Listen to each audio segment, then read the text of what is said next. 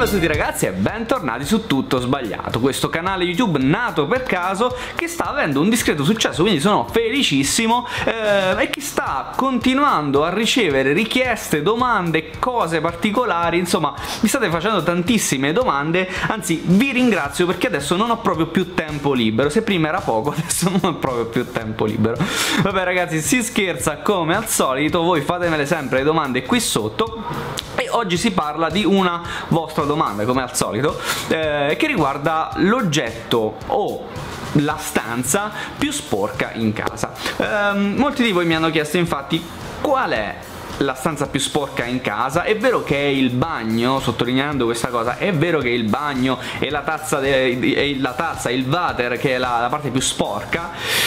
Beh, in realtà no, in realtà no, facendo un po' di ricerche in rete, in realtà questa è una cosa che già conoscevo, però uh, ho approfondito l'argomento, ho detto fa, fammi ricontrollare ancora, sono cambiate le cose, no, sono sempre le stesse, eh, non è la, la, cosa più sporca in casa, il water o la tavoletta eh, de, del VC, insomma, eh, la cosa più sporca in casa si trova in cucina non l'avreste mai detto, eh? Si trova in cucina la cosa più sporca e vi ci faccio arrivare piano piano, eh? Eh, I batteri proliferano negli ambienti umidi e anche se avete una cucina molto molto pulita, perché la pulite tutti i giorni, ad ogni ora, che cos'è che, che rimane sempre umido? La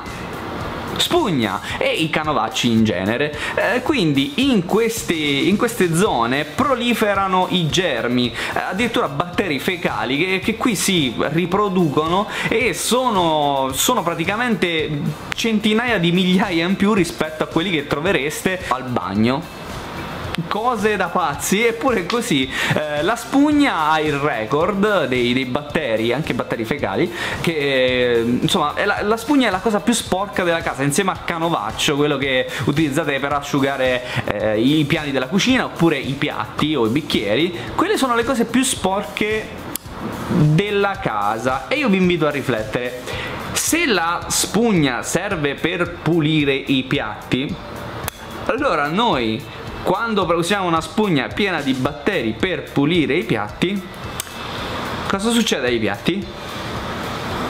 Bingo, ma non è sempre così, in effetti quando eh, le superfici si asciugano, diciamo così, tendono a diminuire questi numeri di batteri, ma comunque ci sono, quindi eh, insomma è una curiosità che fa piacere sapere, no? Soprattutto quando siamo a casa mangiamo e ci ricordiamo che potremmo magari mangiare sulla tavoletta del bagno perché potrebbe essere simile al nostro piatto. Bingo, bingo ragazzi. Va bene, questa era una curiosità. Vi lascio con l'ultima cosetta Quando scaricate il bagno Attenzione perché questa è una cosa che vi sciocca Quando andate a scaricare il bagno Alcuni dei batteri mm, contenuti nei feci, nell'urina, insomma mm, tutto quello che producete e gli scatti del vostro corpo praticamente vengono sparati fuori del water a, a livelli in, inverosimili perché, perché arriva questo oggetto d'acqua molto molto violento e quindi spara i germi al di fuori del water anche a diversi metri. Quindi probabilmente il vostro bagno è più pulito della cosa che avete di fronte al bagno se non abbassate la tavoletta. E questo per ricondurci al fatto che abbassare la tavoletta potrebbe essere utile a che cosa? Ad evitare che i germi entrino in contatto con altre pareti del bagno. Come al solito se vi è piaciuto questo video eh, fatemelo sapere nei commenti e ci vediamo alla prossima e se non vi siete iscritti fatelo